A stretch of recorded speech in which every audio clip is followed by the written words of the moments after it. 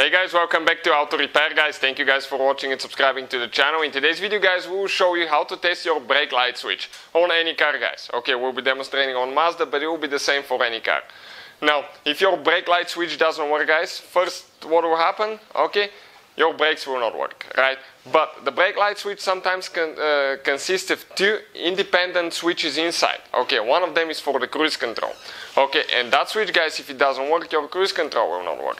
Also guys, you may notice uh, ABS, brake lights, traction control lights because it's part of the uh, traction control system and the safety ABS system. So stay we'll show you how we're going to do that and we can test it without even removing it. That way you will know for sure if yours is good, it's bad and uh, whether you need to buy one and uh, maybe you don't need to buy one and don't need to waste your money. So make sure uh, you stay until the end. We'll share uh, how we're going to test it. In addition guys we'll have more than 200 videos on every car we get at the shop because our mission is to save you guys as much money as we can.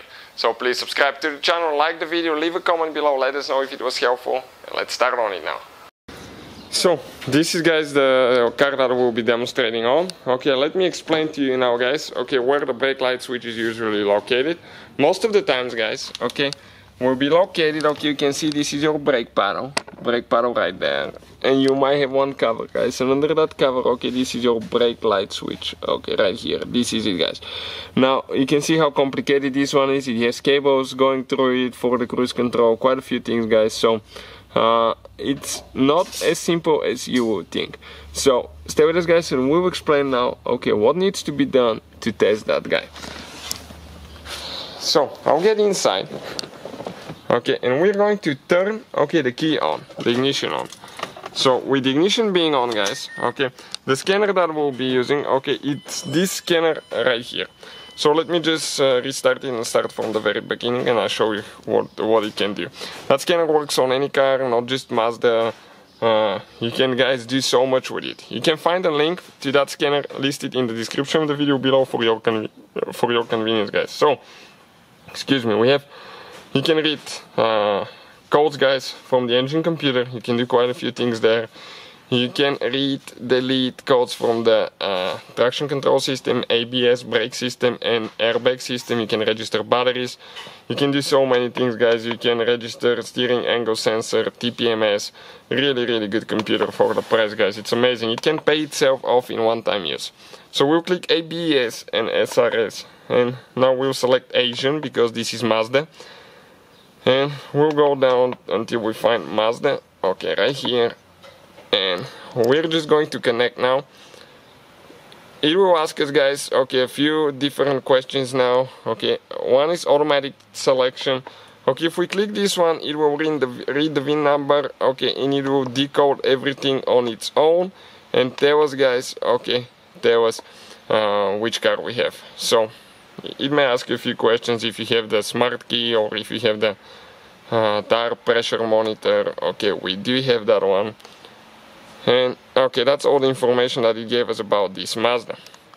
So now we'll click yes, we'll select control unit, and we'll select ABS anti-lock brake right here. Once we guys select that one now, okay, it's going to take a little bit of time to load.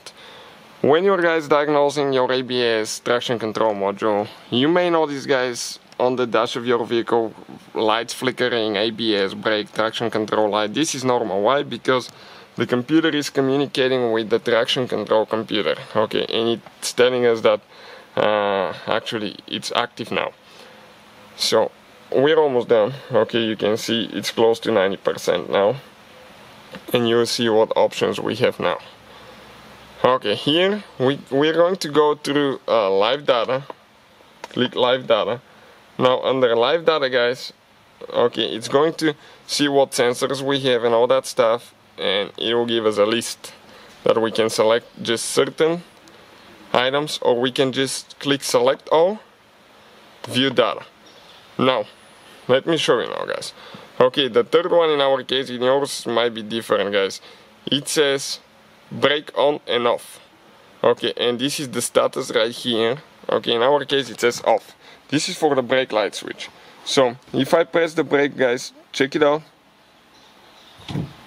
It's not going to change. So what I'll do, okay, I'll go ahead, start the car, Okay, I have the car started now. Even. Nothing guys. So, let me explain you guys how we'll be fixing that. We'll remove the brake light switch, we'll replace it and see if that takes care of our problem and demonstrate how the working one will change from on to uh, from off to on and we'll know that it's working. So let me show you now guys. Okay, we're going to go ahead and restart the car now. Okay. And we're going to click OK to reset because uh, the ignition was off. We'll select all and we'll go back, reconnect. Okay, and now guys, okay, right here, okay, you can see that we have, okay, it says brake off, right? Check it out when I press on it now. It says brake on, that's the new switch guys. With the new switch, everything works like it should. And we don't have the brake and ABS light anymore right here. So that definitely took care of our problem guys. So, uh, thank you guys for watching. Please subscribe to the channel for more videos and see you guys next time.